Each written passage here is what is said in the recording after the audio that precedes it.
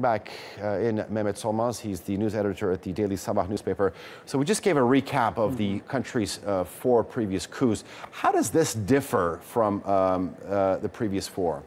Well, if you look at the all the other three military coups, other than the 1997 one, 1997 one, we see that the the military was in whole uh, supporting the coup. However, in this specific situation that we have just witnessed two days ago, we see that uh, we're talking about a group within the army, but especially within the Air Force and the Gendarmerie Command.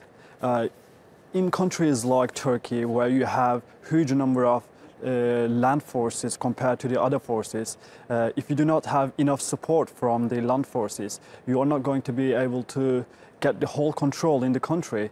Uh, these Gulen movement infiltrators did have some sort of uh, power within the air forces and gendarmerie command. However, their support uh, within the police department was curbed uh, after the operations started about two years ago.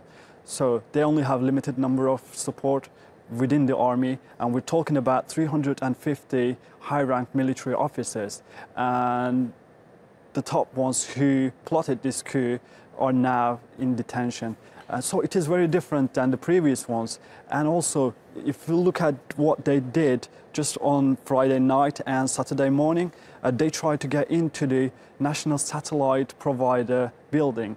Uh, the headquarters in Ankara was attacked by the, by the fighter jets. So what they actually tried to do is uh, turn down all the TV channels, cut down the internet, uh, and you know try to make some some sort of like chaotic atmosphere where people are scared to go out or not able to hear from their political leaders or the or the people who rule the country.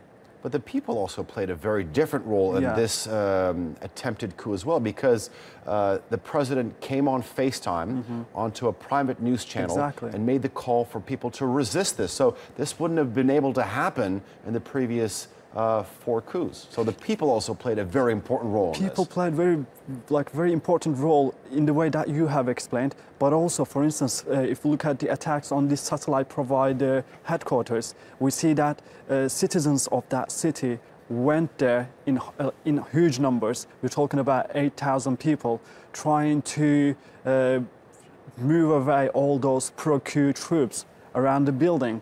Uh, so people did actually went to the streets and they did their job on the internet, uh, you know, everywhere, you know, all platforms. Uh, and we're talking about people from all, uh, from, from all backgrounds, uh, from all ethnic backgrounds, uh, from different political parties.